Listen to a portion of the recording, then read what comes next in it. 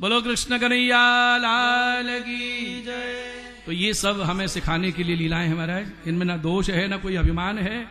ये बताया, जब इतनी उच्च अवस्था वाले तीनों अंग पे सदा जिनकी स्थिति है, सदा संबंध है, जब उनको भी केवल स्वरूप स्मरण रहने के कारण ये कृपा प्राप्त नहीं हुई तो हम साधारण जीव किस पे अभिमान करें? बोलिए। थोड़ी संपत्ति, थोड़ा बल, थोड़ी प्रतिष्ठा, इस पर ही वो चलने लगे। तो भगवान को केवल प्रेम प्रिय है निर्भिमानी हृदय प्रिय है महाराज। यही कथा बता रहे बोलिए, दामोदर भगवान की जय। तो ये सब कथा जो हम सुन रहे हैं, आचार्यों के उद्गारों को सुन रहे हैं, भक्तों की वाणी को सुन रहे हैं, इन सबको अपना आदरणीय मार्गदर्शक बनाइए, गुरु बनाइए और इनसे शिक्षा ग्रहण कीजिए। जैसे दत्तात्रेय जी को जहाँ गुण मिला, लिया उन्होंने। जड़ चेतन सबको आदर दिया उन्होंने। शरणागति सीखनी हो, श्री रामानुजाचार्य जी से सीखो। श्री आमनाचार्य जी से सीखो। सठको मुनि से सीखो। शरणागति गद्धम पढ़ो। प्रपत्ति अलविंदार स्त्रोत्र पढ़ो। समझ में आएगा शरणागत भक्त का स्वरूप क्या होता है? और प्रेम तत्व को समझना हो, श्री चैतन्य महाप्रभु से सीखो। उनके सड गोस्वामियों से सीखो, रूप सनातन जीव गोस्वामी से सीखो, परिकर से सीखो।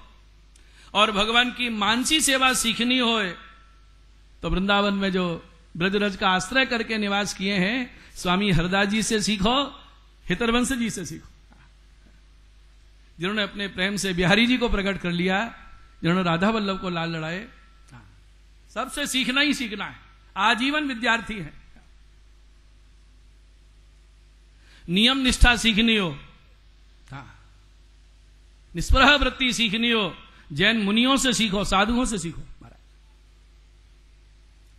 और समाज सेवा, वैदिक संस्कृति का प्रचार सीखना हो, ये प्रेरणा चाहिए, ये शिक्षा चाहिए तो हमारे स्वामीनारायण संप्रदाय के साधुओं से सीखो।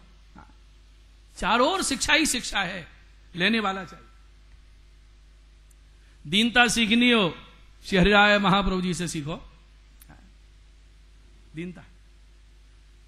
प्रातः स्मरणीय पूज्य चरण श्री डोंगरे महाराज जी से सीखो।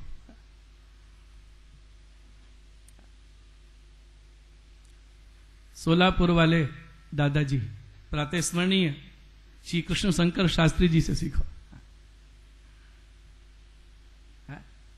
दीनता सीखनी।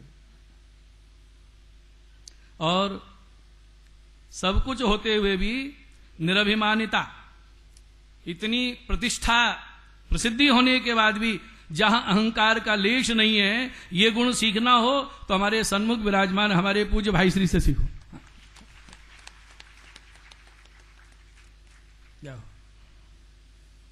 कितने लोगों का प्रेम प्राप्त करके, कितने लोगों का सम्मान प्राप्त करके भी लेश मात्र जिनके हृदय में कोई अंकुर नहीं जगा है, ये भगवत कृपा से संभव है। इसलिए कहा, कृष्ण कृपा को कौन प्राप्त कर सकता है जो निराभिमानी हृदय है, जो प्रेमी हृदय इस कथा से यही शिक्षा दी गई।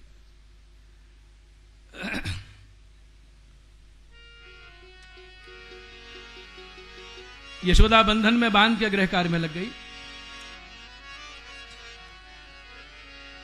कृष्ण गोविंद गोविंद गोपाल नंद लाल कृष्ण। गोविंद गोविंद गोपाल नंद लाल। कृष्ण गोविंद गोविंद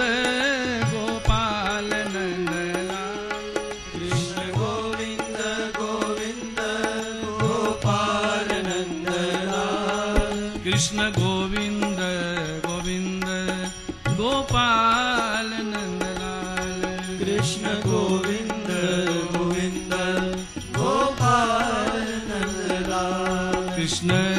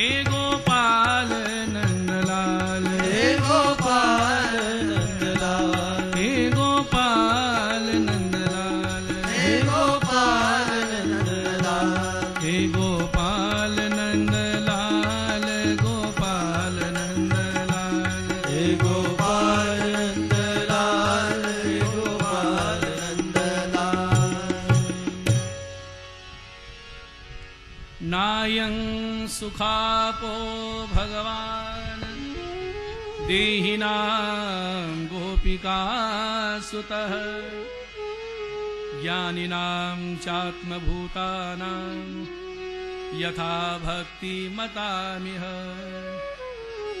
भागवत में श्लोक है ज्ञानिनाम चात्मभूतानाम महाबू जी ने पाठवेद किया है। भूतानाम की जगह पोतानाम आचार्यों को महाराज, अधिकार है। क्योंकि वो जैसा गुड़ अर्थ जानते हैं, कौन जान सकता है? ज्ञानी नाम चात्म पोतानाम यथा भक्ति मतामिह पोतानाम गुजराती में है ना पोताना मारा ये अर्थ नहीं है पोत माने जहाज़ नौका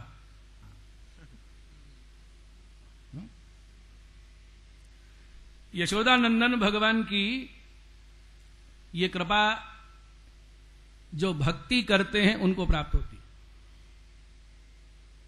और जो साधनों में लगे हैं कि हम तो साधन को ही जहाज़ बना के संसार से पार हो जाएँगे, ऐसे साधकों का साधन अहंकार के कारण ये कृपा की प्राप्ति नहीं होती।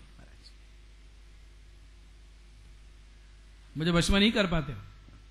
वसी कुरवंती माँ भक्तिया। कैसी भक्ति? सती स्त्रीय सतपतिंग था हमारा दृष्टांत भी क्या दिया भगवान? गोपी वाला क्या ध्वनित हो रहा है? भज सखी भाव भाविक देव, कोटि साधन करे को तऊ न मानत से।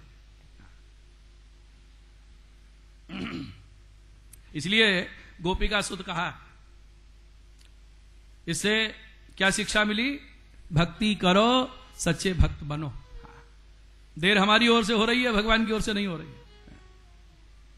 और एक बहुत बढ़िया बात कही आचार्य चरणों ने कि भगवान भक्ति करने वालों को नहीं भक्ति करने वाले के वश में नहीं होते, भक्त के वश में होते। भक्ति तो बहुत कर रहे हैं। तात्पर्य क्या है कि प्रेम के बिना केवल क्रिया मात्र, सेवा भजन करने से भगवान वश में मान लेते हैं। मानना अलग बात है, आधीन होना अलग बात है। एक कहता है, मेरे बहुत चाहने वाले, बहुत मित्र हैं। तो दूसरे ने पूछा, आप सब मित्रों के यहाँ तो जाते नहीं, उसी के यहाँ ज़्यादा क्यों जाते हो? बोले, जी मत पूछो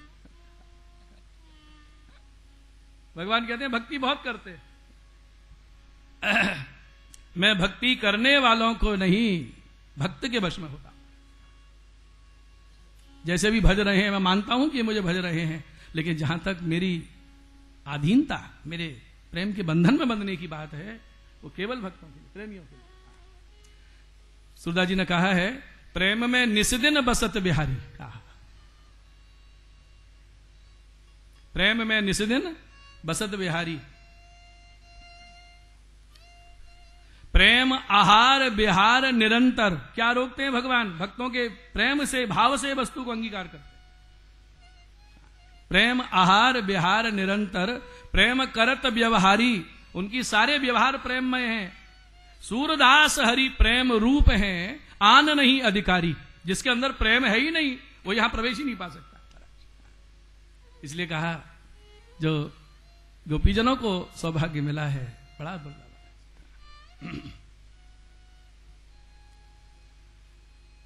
मैया बंधन में बाँध के गृह कार्य में लग गई है, और भगवान ने नारद जी के श्राप से नलकुबर मणिग्रीव, जो यमलार्जुन वृक्ष हो गए हैं, आज उनको उद्धार करना है।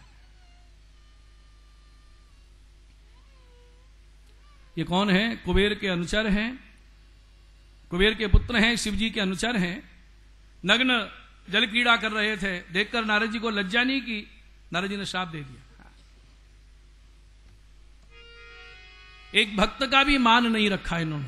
केवल धन का मद कि हम कुबेर पुत्र हैं। तौ दृष्टवा मदिरा मत्तौ श्रीमदांधौ सुरात्मजौ। तयोरनुग्रहार्थाय शापम दस्यन्निदं जगौ।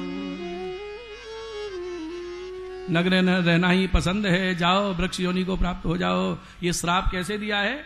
अनुग्रह के लिए। वृक्ष कहाँ के बनाए? जरा विचार कीजिए। जहाँ वृक्ष बनने की कामना उद्धव जैसे भक्त कर रहे हैं। आशा महो चरण रेणुषा महंश्याम वृंदावने किमपि गुलमलतौषधि नाम वो मांग रहे हैं और नारद जी कैसे उदार भक्त हैं, दंड के रूप में दे रहे हैं। और वृक्ष भी कहाँ बनाए? नारद जी सोच रहे हैं, कहाँ के वृक्ष बनाए? उद्धव जी ने तो मांगा, वृंदावन में बने। नारद जी कितने दयालु हैं कि वृंदावन के वृक्ष बनेंगे तो देरी हो जाएगी उद्धार में, क्योंकि जब गैया चराने जाएँगे, बड़े होके, तब कृपा होगी। बाल लीला करते में घुटने चलते में ही कृपा हो जाए, इसलिए नंद के आँगन में यमलार्जुन वृक्ष बनाए। भक्त जैसा उदार कोई नहीं है महाराज। इसलिए ये कथा सुनने से भक्तों में सख्य भाव होता है कि जिनका अपकार करें, फिर भी वो कृपा करते ऐसा हृदय होता है नवनीत के समान संतों का।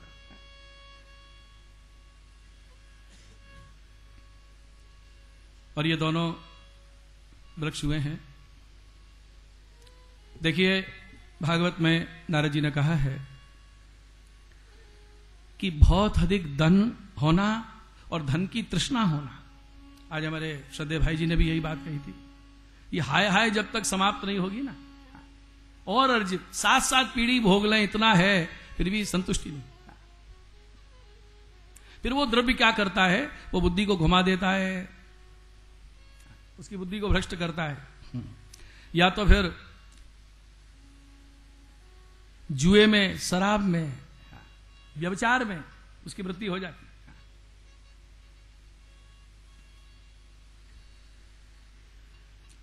देखिए, सारे हमारे जो ऐतिहासिक प्रसंग हैं, ये सब शिक्षा के लिए हैं। युधिष्ठिर जी धर्मराज हैं।